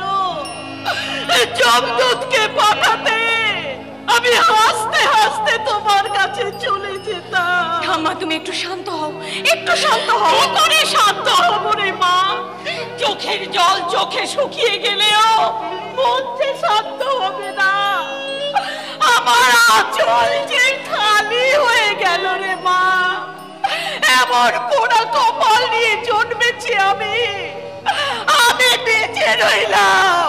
আর আমার ছেলেটা চলে গেল। বাবা চলে যায়নি ঠাকুমা। ওই বিলাস বর্মন বাবাকে খুন করেছে। সিদ্ধার্থ হ্যাঁ ফুলকি। আর তাছাড়া তোমরা কাঁদছো কেন? কেন চোখের জল ফেলছো? আমার বাবা তো বীরের মতো মারা গেছে আর বীরের আত্মীয়দের কাঁদতে নেই মোছো। মোছো চোখের জল মোছো। আমি গ্রামে আসার পর থেকেই এসব কি হয়ে গেল সিদ্ধার্থ? আজ আমার জন্য আমার জন্য কাকা না দিদিমণি না। তোমার জন্য কিচ্ছু হয়নি। হয়েছে হয়েছে গ্রামের ভীরু কাপুচুলোর জন্য। ওরা ওরা যদি সেদিন প্রতিবাদের এই ঝড় তুলতে পারতো তাহলে তাহলে এভাবে কর্তাবাবুকে চলে যেতে হতো না। কিন্তু আর নয় আর নয় আমার উপর বদলা নেওয়ার জন্য ওই শয়তানটা একে একে সবাইকে ধ্বংস করছে। তোমাদের জীবন নিয়ে আমি ওকে আর ছিনিমিনি খেলতে দেবো না সিদ্ধার্থ। এতদিন আমি তোমাকে বারণ করেছি কিন্তু আজ আমি তোমাকে বলছি। হ্যাঁ দিদি ভাই যে আমার ছেলেকে আমার বুক থেকে কেড়ে নিয়েছে তাকে তুই ছাড়িস না। কথা দে কথা দে দিদি ভাই। আমার ছেলের প্রত্যেক ফোঁটা রক্তর হিসেব তুই নিবি। ঠাকুমা তোমরা সবাই আমার স্বামীকে মেরে ফেলবার প্ল্যান সাজাচ্ছ তো? তোমাদের এই বদল করা সমাজ করতে বদলার মিছিলের প্রথম সারিতে দাঁড়িয়ে হাতে ন্যায়ের পতাকা নিয়ে আমিও চলে এসেছি। বৌদি? কিন্তু বৌদি আমরা তো শুনেছিলাম তোমাকে মিথ্যে অপবাদ দিয়ে ওই ঘুষখোর পুলিশ অফিসার থানায় নিয়ে গিয়েছিল। হ্যাঁ নিয়ে গিয়েছিলাম। ফিরিয়ে নিয়ে আসার জন্য। নারায়ণ বাবু মাগো ছেলে তোমাকে ছেড়ে চলে গেছে কিন্তু এই খারাপ ছেলেটা আবার ভালো হয়ে তোমার কাছে ফিরে এসেছে? তুমি? হ্যাঁ আমি আমি আমি। জীবনে কেউ কখনো কোনোদিন আমার গায়ে হাত তোলেনি। আমি যা করেছি সবাই সেটাকে মেনে নিয়েছে। এমনকি আমি যদি কোনো অন্যায় করি সবাই সেটাকে সাপোর্ট করেছে। কিন্তু যেই অধিকার নিয়ে তুমি সেদিন আমার গালে একটা চর মেরেছিলে মাগো? মাগো এই পোশাকটা যেদিন প্রথম পরেছিলাম সেই চড়গুলো যদি সেদিন তুমি আমার গালে মারতে তাহলে তোমাদের এই নারায়ণ ভৌমিক ঘুষখোর পুলিশ অফিসার হয়ে যেখানে সেখানে হাত পাততো না। নারায়ণ বাবু! আমি বলেছিলাম না আমার বলার সময় হলে আমি বলব। আজ আমার বলার সময় হয়েছে। ওই স্কাউন্ডারটার সামনে আমি যদি বৌদিকে অ্যারেস্ট করার নাটকটা না করতাম কারণ আমি জানি ওই স্কাউন্ডারটা যে কোনো উপায়ে হোক বৌদিকে মেরে ফেলে দিত। তাই তো আমি বৌদিকে গ্রেপ্তার করার নাটক করে থানায় নিয়ে গিয়েছিলাম ঠিকই। কিন্তু আপনারা বিশ্বাস করুন কাগজে কলমে আমি কোনো রকম কেস সাজাইনি। খুব ভালো কাজ করেছেন। এক গলা গঙ্গা জলে দাঁড়িয়েও যদি কেউ বলতো আমরা বিশ্বাসই করতাম না যে বৌদি খুনটা করেছে। এত বছর পুলিশে চাকরি করছি কে খুন করতে পারে আর কে পারে না সেটুকু বোঝার মতো ক্ষমতা আমার হয়েছে। তাই তো তাই তো যৌতুক গৃহতে আগুন লাগাবার আগে এই লক্ষ্মী প্রতিমাকে ওই যৌতুক গৃহ থেকে বার করে এই মন্দিরে প্রতিষ্ঠা করতে নিয়ে এলাম। সেই ভুল বুঝলেন নারায়ণ বাবু কিন্তু বড্ড দেরি করে বুঝলেন। আর আপনার সেই দেরির মাসুল আপনি নয়। দিচ্ছি আমরা আমরা। আমি জানি আমি ক্ষমা পাওয়ার যোগ্য নই তাই আমি কারও কাছে কোনো ক্ষমাও চাইব না। আপনারা আমাকে যে শাস্তি দেবেন সে শাস্তি আমি মাথা পেতে নেব। বলুন আমাকে কি করতে হবে? ফিরিয়ে দিতে হবে আমার ছেলেকে বল পারবি? ঠাকুমা! ফিরিয়ে দিতে হবে আমার নাতির স্বপ্নকে বল পারবি? ঠাকুমা! ফিরিয়ে দিতে হবে ফুলকির সম্মানকে। বল না বল না পারবি। ঠাকুমা আপনি! হ্যাঁ, আমি আমি বলছি এই গলাটাই তুই ফিরিয়ে দিতে পারবি না। কারণ সে ক্ষমতা তোর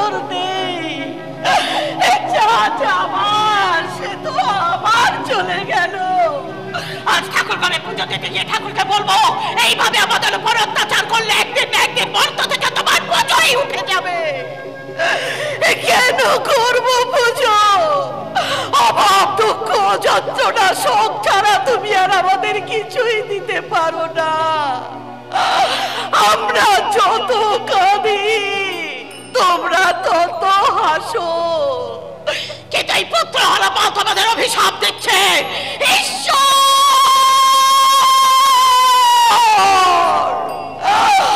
আমার। মতো তোমাদের মুখের হাসিও একদিন শুকিয়ে যাবে। শুকিয়ে যাবে।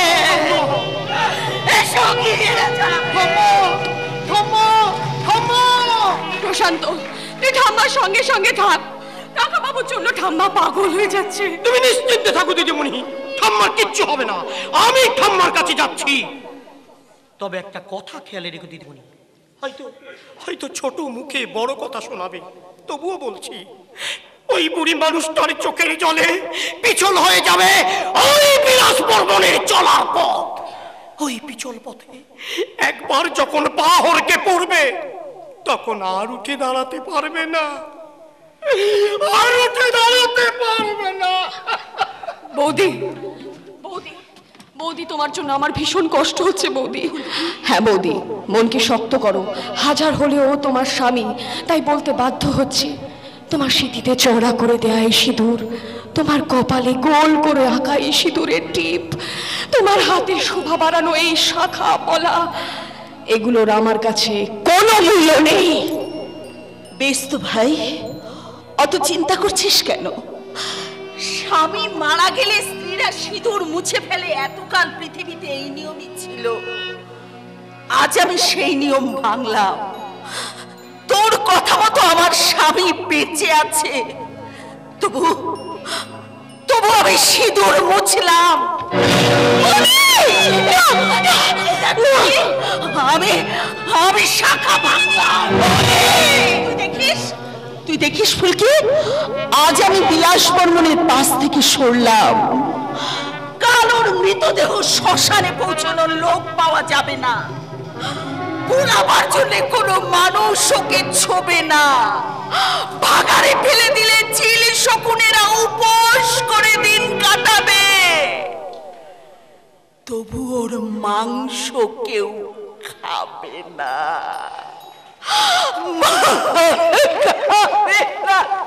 আমি চলি। কোথায়? ওই বিলাসের কাছ থেকে ও শেষ নিঃশ্বাসটা কেড়ে আনতে। না ফুলকি না আইন তুমি নিজের হাতে তুলে নিও না। কোন আইনের কথা বলছেন আপনি? যখন ওই জানোয়ারটা আমার উপর পাশবিক অত্যাচার করছিল তখন আপনাদের আইন আধ্যাত্মিক গান গাইছিল যখন ওই জানোয়ারটা নিজের কর্মচারী অধিকারীকে খুন করেছিল তখন আপনাদের আইন হাসপাতালে বিশ্রাম নিচ্ছিল যখন ওই জানোয়ারটা টাকা বাবার অপরাধীটাকে খুন করেছিল, তখন আপনাদের এই প্রমাণ খুঁজতে ব্যস্ত ছিল। অফিসার, আপনাদের ওই আইনকে কেউ ছোটবেলায় পোলিও খাওয়ায়নি। তাই বড় হয়ে আইনের হাত পা সব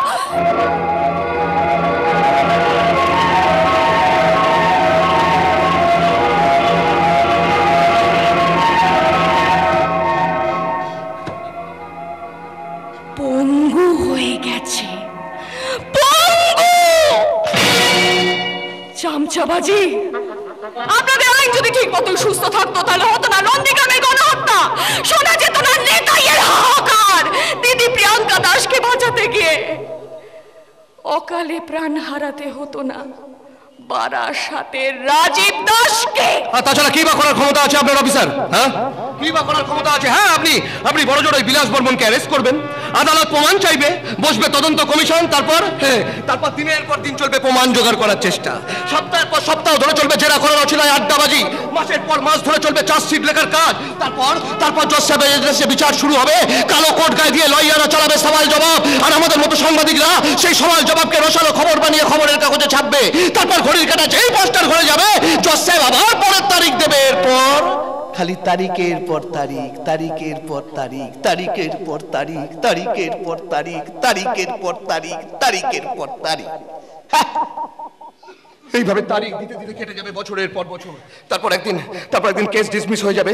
আপনি ভুলে যাবেন ওই খবর পাবলিক ভুলে যাবে ইতিহাস। কিন্তু কিন্তু আমার ফুলকি কি মুছতে পারবে? ওর মাথায় লেগে থাকা কলঙ্কের কালি। সিদ্ধার্থ! আমি ভুলতে পারব না আমার বাবার মৃত্যু! আমিও ভুলতে পারব না আমার সীতাকে। এই তো এই তো স্যার। আ- আ- আমি এসে গেছি। বলুন বলুন কোন বর্ডারে ডিউটি করতে যেতে হবে? তবে স্যার আমার পিস্তলটা না সরকার কেড়ে নিয়েছে। আপনি যদি সুপারিশ করেন তবে আবার আমি পিস্তলটা ফিরে পাবো। আর তারপর? তারপরে ধরিত্রীকে যারা ধ্বংস করতে চাইছে। সেই সব বহিরাগত সাম্রাজ্য তৈরি সব কাজ নির্মাণ চালাবো স্বাধীনতার গুলি তুম তুম তুষারবাবু সাংবাদিক এবার তুমি খবরের কাগজে লিখবে। ঘুমিয়ে থাকা মানুষের দল ছাড় দীর্ঘশ্বাস আর কতদিন থাকবি ঘুমিয়ে? কেটে গেছে বারো মাস। আর কতদিন সহ্য করবি? ওদের অত্যাচার আর কতদিন মুক্তি বুঝে মানবি ভ্রষ্টাচার? এবার সাংবাদিক তোমার খবর পৌঁছে দাও জনগণের কাছে। আর জনগণ তুমি বলে ওঠো। তোমার খবর পেয়েছি রানার পেয়েছি যে মনে বল। তাই তো করেছি লড়বো বলে বিদ্রোহীদের দল। এবার জনগণকে সুরক্ষার জন্য হে প্রশাসন তুমি তৈরি তো। স্যালুট করছি তোমায় আমি স্যালুট করছি ভাই। স্বাধীন এবার আমিও হব বলার কিছু নাই। কি গো? কি গো ধরিত্রীমা আজ সাংবাদিক তোমার পাশে এই জনগণ তোমার পাশে প্রশাসন তোমার পাশে। তুমি সাজবে না রণক্ষেত্রের পোশাকে দেবে না সৈন্যদের আদেশ চালাবে না তলোয়ার। অন্ধকারের বুক চিরে আজ দেখাবো দিনের আলো। মুছে যাক আছে যত সব আবর্জনার কালো। আর চাপে কাঁপবে মাটি কুচকে উঠবে ভুলো। স্বাধীনতার সত্তা ফেরাতে মুক্তির যুদ্ধ শুরু। মুক্তিযুদ্ধ শুরু। আগুন ধরানো শুরু। আগুন ধরানো শুরু। বাঁচার লড়াই শুরু। বাঁচার লড়াই শুরু।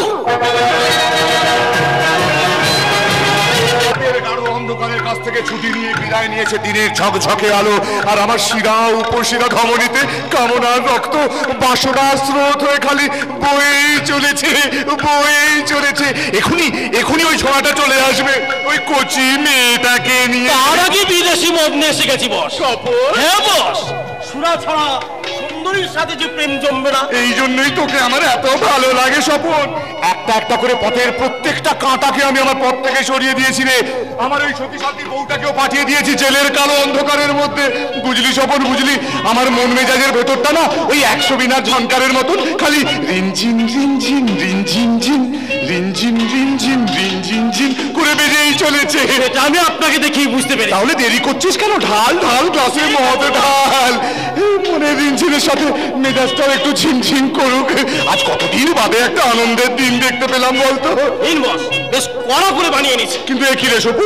আজ তো আমার আনন্দের দিন। আমার আনন্দের দিন মানে তোরও আনন্দের দিন। তো এই আনন্দের দিনে আমি একা মদ খাব কেন? তুইও খাবি আমার সঙ্গে তোর গ্লাস কই? আপনি যে আমার গুরুজন। দূর বোকা ছেলে। তার চেয়ে বড় কথা হলো তুই আমার আপনজন। নে চিয়ার্স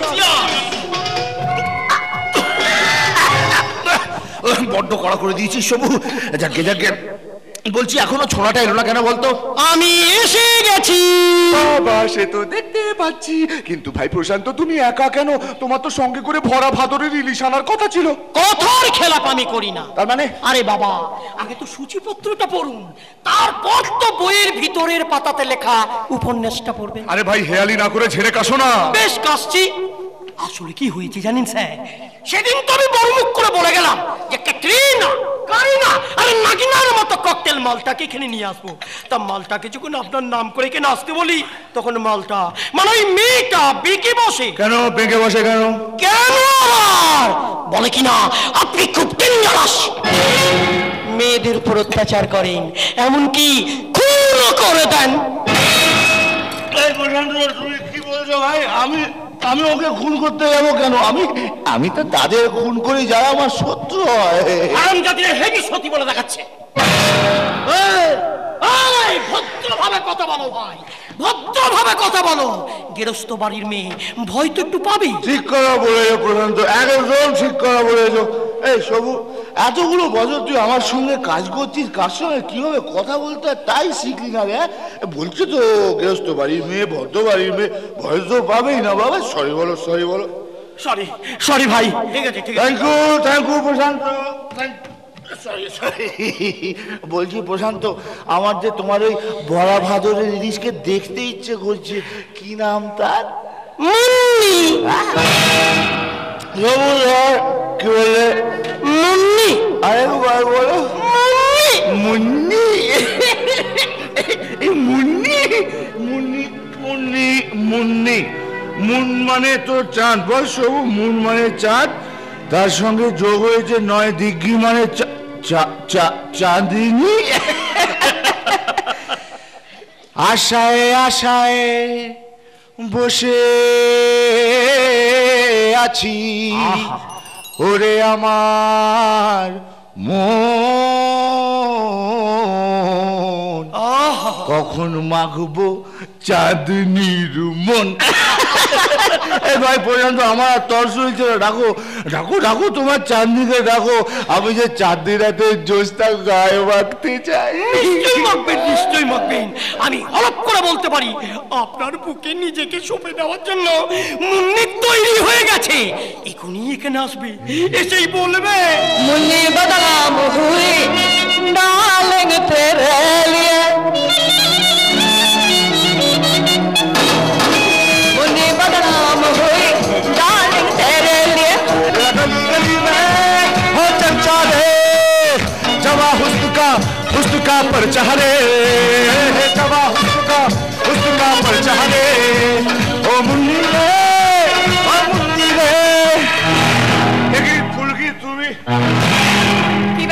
বিলাস বর্মন চমকে উঠলে যে এই তো সবে তোমার চমকানো শুরু হলো। তার মানে?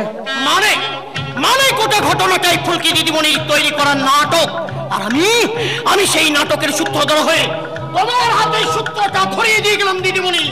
এবার এবার তুমি তোমার সামনে দাঁড়িয়ে থাকা এই পাপের স্তম্ভটার দম্ভ অহংকার মাকে সঙ্গে মিশিয়ে দাও। কি? এবার দেখুন কেমন ভরা ভাদরের ইলিশ এনেছি। এখন আমি চলি।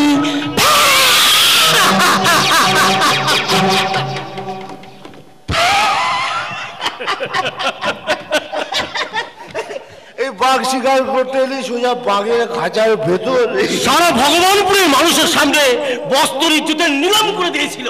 তাতেও শিক্ষা হয়নি দেখছি। হয়নি রে সপু হয়নি। দাঁড়ালে এখানে কেউ আসে না। পুলকি। তোকে তোকে দেখে আমার হাসি পাচ্ছে রে হাসি হাসি। হেসে নে বিলাস বর্মন হেসে নে। তোর জীবনের শেষ হাসিটা তুই হেসে নে। কারণ এরপর হাসিটা দূরের কথা।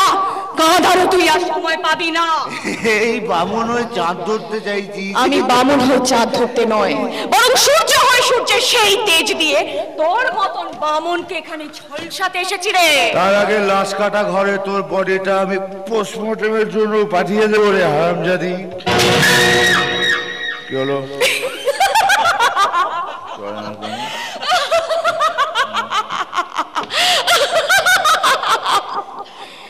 বিলাস বর্মন। কথায় আছে সময় খারাপ এলে চামচিকিতেও লাথি মারে। তোর এখন দেখছি সেই অবস্থা। পিস্তল ছাড়ালি অথচ গুলি বেরোলো না। এ কি করে সম্ভব? আমার পিস্তল থেকে গুলি বার করল কে? আমি? বাপন! হ্যাঁ আমি।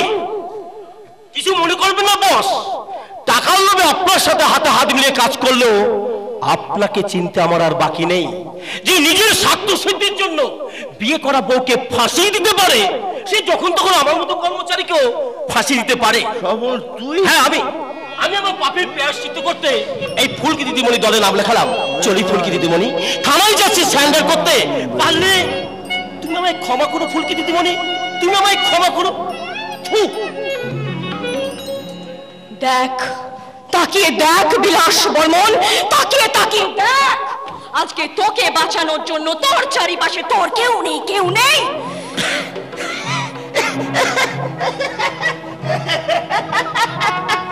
এই বিলাস বর্মন নিজেই বাঁচতে জানে রে ফুলকি। বন্ধুকে গুলি নেই তো কি হয়েছে? শরীরে শক্তিরও কমে যায়নি। আমি তোকে আমার এই হাত দিয়ে গলা টিপে মেরে ফেলে দেবো। তার আগে এই পাটাকে কাজে লাগিয়ে তোকে মাটির সাথে মিশিয়ে দেবো বিলাস বর্মন বল। বল তুই আমার বাবাকে আমার জীবন থেকে কেড়ে নিলি। আমার আমার ভালোবাসাকে তুই ষড়যন্ত্রের হাড়ি কাটে বলি দিলি। আমার জীবন নিয়ে তুই ছিনিমিনি খেললি বিলাস বর্মন?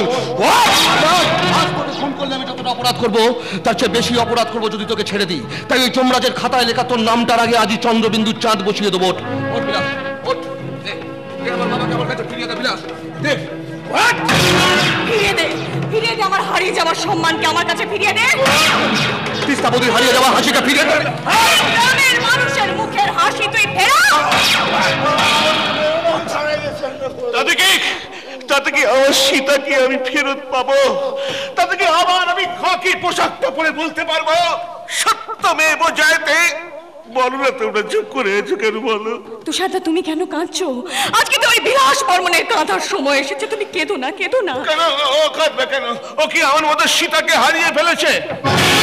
না তুষারদা ও আজ ওর মনুষ্যত্বটাই হারিয়ে ফেলেছে। ওদি আমাকে বাঁচা আমি তোমার স্বামী। বাঁচাবো কি বলছো? তুমি যে এখনও বেঁচে আছো কেন সেটাই তো বুঝতে পারছি না। কিরে ফুলকি আর কত সময় নেবি? অসনিধন যজ্ঞের সময় দেবী দশভূজা দশ হাতে অস্ত্র তুলে দিয়েছিল দেবতারা। আর আজ আমি আমার স্বামী নিধন যজ্ঞের অস্ত্রটা তোর হাতে তুলে দিলাম। এতদিন আমি তোমাকে বারণ করেছি কিন্তু আজ আমি তোমাকে বলছি যে তোমার জীবনের ছন্দকে থামিয়ে দিয়েছে তিস্তা বৌদির দেহ হস্তে তাকে শেষ করে দাও। এইবার বুঝতে পারছি এ হলো কলি যুগের অসুর। তবে দেরি করছ কেন মা? ওই শোনো ঢাকিরা ঢাক বাজাচ্ছে। মন্দিরে মন্দিরে বাজছে ঘণ্টা শুরু করো মা। অসুর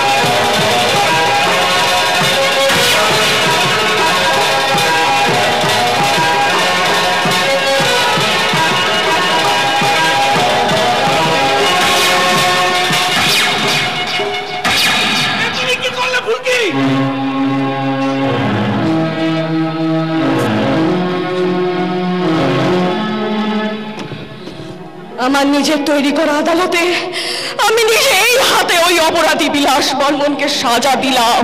সারাটা জীবন আইনের পোশাক পরে ঘুষ খেয়ে অনেক বেআইনি কাজ করেছি। আর সর্বপ্রথম ঘুষ না খেয়ে শেষবারের মতো আরও একটা বেআইনি কাজ করব। সেটা তো তুই ফুলকি কিনে এখান থেকে চলে যাও। এখানকার সব ঝামেলা আমি সামলাবো। আমি ফুলকি ক্যারেজ করতে পারব। যাও যাও যাও দেরি করো না, না না না ফুলকে তুমি গ্রেফতার করবে। ঠাকুমা। হ্যাঁ রে মা। নেতাজি সুভাষচন্দ্র বোস জেল খেটেছিল বলে নেতাজির মায়ের বউ গর্বে ভরে উঠেছিল। ক্ষুদিরামের ফাঁসি হবে শুনে ক্ষুদিরামের মাসে যেমন উল্লাস করেছিল তেমনি তুই জেনে যাচ্ছিস দেখে আমার সেই রকম আনন্দই হচ্ছে রে মা। ঠাকুমা ঠাকুমা তুমি? হ্যাঁ হ্যাঁ আমি আমি বলছি রোজ খাবার নিয়ে জেলে তোর সঙ্গে আমি দেখা করতে যাব। সেটা তো সেটা তো এই সিঁদুরটা তুই অসুবিধা পরিয়ে দে বাবা পরিয়ে দে।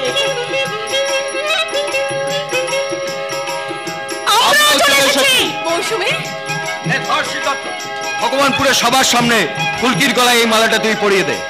কি বৌদিরা তোমরা চুপ করে আছো কেন? শাক বাজাও উলু দাও।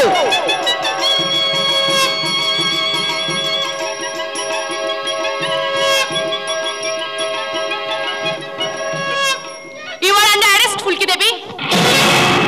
Narayan babu আপনি কি আমার জিপে ওয়েট করুন। যাতে আপনার শাস্তি কম হয় তার ব্যবস্থা করব। Okay madam